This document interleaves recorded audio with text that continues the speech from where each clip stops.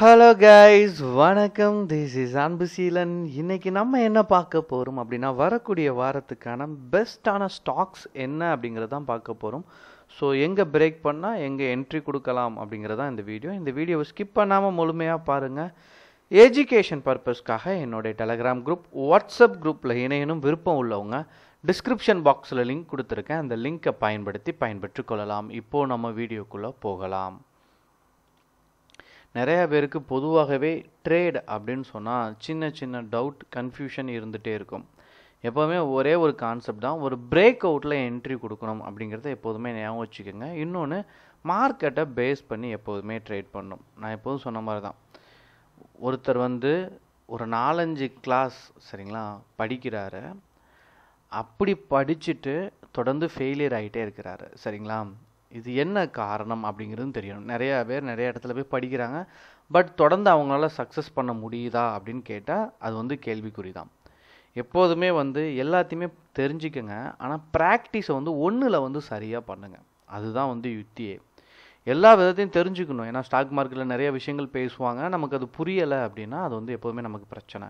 ஆனால் ஒன்றை சரியாக ப்ராக்டிஸ் பண்ணுங்கள் ஸ்டாக் மார்க்கெட்டில் நீங்கள் எப்போதுமே கண்டுபிடிக்க வேண்டியது என்ன அப்படின்னா ஸ்ட்ராட்டஜியோ டெக்னிக்கல் அனாலஜியோ அதெல்லாம் தாண்டி ஸ்டாக் மார்க்கெட் ஏதோ ஒரு நம்பரில் தான் வந்து ரன் ஆகிட்ருக்கும் அந்த நம்பர் என்ன அப்படிங்கிறத நீங்கள் ஃபஸ்ட்டு கண்டுபிடிங்க.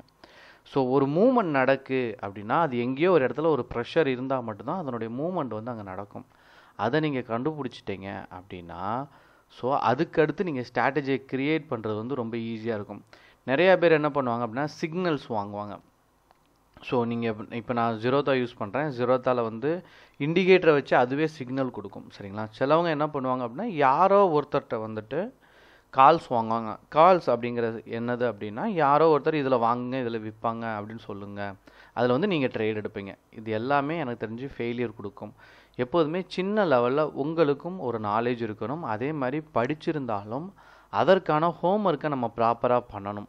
ஏன்னா நீங்கள் வேலையில் போடுற ஹண்ட்ரட் பர்சன்டேஜ் எஃபர்ட்டில் டுவெண்ட்டி பர்சன்டேஜ் நீங்கள் இதில் போட்டாலே சக்ஸஸ்க்கான வாய்ப்பு வந்து உங்களுக்கு வந்துடும் ஆனால் அதை முறையாக கொஞ்சம் கொஞ்சம் ப்ராக்டிஸ் பண்ணணும் இன்னொன்று ட்ரேடில் நீங்கள் பண்ணக்கூடியது என்ன அப்படின்னா இமிடியேட்டாக ப்ராஃபிட்டை மேக் பண்ணணும். இன்ட்ராடே பண்ணுறீங்க அப்படின்னா. ஸோ இதில் நான் சொல்கிறதுக்கான காரணம் என்ன அப்படின்னு சொல்லேன் டெக்னிக்கல் அனாலிசிஸை ஸோ மார்க்கெட் வந்து இப்படி ஒரு ஜிக்ஸாக் மோடில் வந்து கரெக்டாக மூவ் ஆகிட்டே இருக்கும். அதில் எந்த மாற்று கருத்தும் யாருக்குமே கிடையாது சரிங்களா? ஆனால் அதுக்குள்ளேயும் ஒரு மார்க்கெட் ரன் ஆகிட்ருக்கும் சரிங்களா? இங்கே நீங்கள் பார்த்தீங்கன்னா ரன் ஆகிட்ருக்கும் இந்த லெவலும் இந்த லெவலும் இப்போ ரெட் கேண்டில்னா அகெயின் ரெட்டு விழுந்து அப்படியே கீழே அப்படியே போயிடும் இங்கே பார்த்தீங்கன்னா ரெண்டுமே க்ரீன் சரிங்களா? ஸோ அகெயின் பிரேக் ஆகிற சான்சஸ் இருக்குது நமக்கு ஹை வந்து நீங்கள் பார்த்தீங்கன்னா இது வரைக்கும் போகிறதுக்கான வாய்ப்பு இருக்குது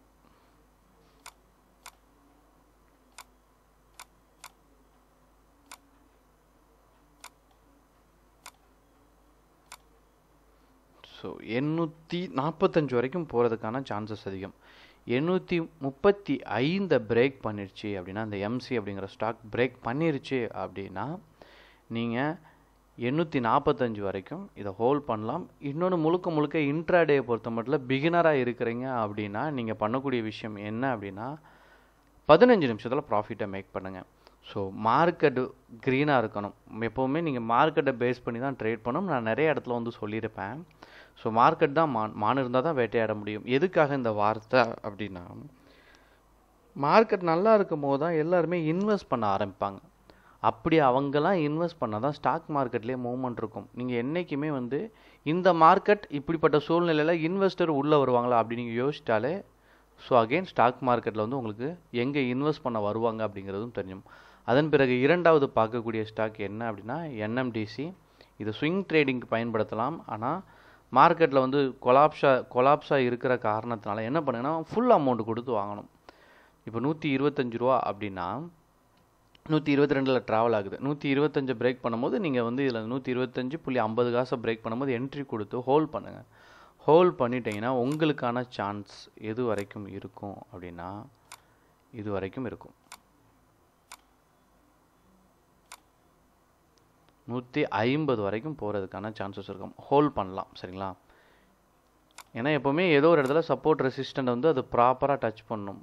இன்னொன்று நிறைய பேர் பெரிய பெரிய இன்வெஸ்டர்லாம் எப்படி ட்ரேட் பண்ணுறாங்க அப்படின்னா அவங்க எல்லாமே முழு கேஷ் கொடுத்துருவாங்க. இது வந்து டவுன் ட்ரெண்டில் இருக்குது அது வந்து கொஞ்சம் டிஃபிகல்ட்டான விஷயம். எப்பயுமே மார்க்கெட்டில் நீங்கள் ட்ரேட் எடுக்கிறீங்கன்னா அப்படியே அப் ட்ரெண்டில் போகணும். ஏன்னா அப்போ தான் அப்படி ஹியூஜ் ப்ராஃபிட்டுங்கிறது இங்கே வந்து கிடைக்கும். டவுன் ட்ரெண்டில் போகும்போது சப்போர்ட் ரெசிஸ்டன்ட் கொஞ்சம் கொஞ்சம் ஃபெயிலியர் கொடுக்கும் சரிங்களா?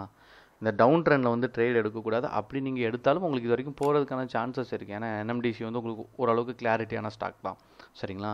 இதில் முழு அமௌண்ட் கொடுத்து எடுத்தீங்க அப்படின்னா இறங்குனாலும் சரிங்களா இங்கேயும் சப்போர்ட் டச் பண்ணிட்டு இங்கேயும் ட சப்போர்ட்டை டச் பண்ணிட்டு ஸோ அகைன் மேலே போகிறதுக்கு தான் சான்சஸ் இருக்குது நீங்கள் முழு அமௌண்ட் கொடுத்து பண்ணும்போது இது மூணு மாதம் நாலு மாதம் ஆனாலும் உங்களுக்கு கண்டிப்பாக அந்த இடத்த ரீச் ஆகும். இன்னொன்று ஆப்ஷன் பண்ணும்போது ரிஸ்க் அதிகம். ஏன்னா அந்த கான்ட்ராக்ட் எக்ஸ்பைரி ஆகும்போது அவங்களோட ப்ரீமியம் வேல்யூ ரொம்ப கம்மியாகும். அதனால் அதை மட்டும் கவனத்தில் எடுத்துகிட்டு ஸோ இன்ட்ராடே பண்ணுறீங்கன்னா பிரச்சனை இல்லை.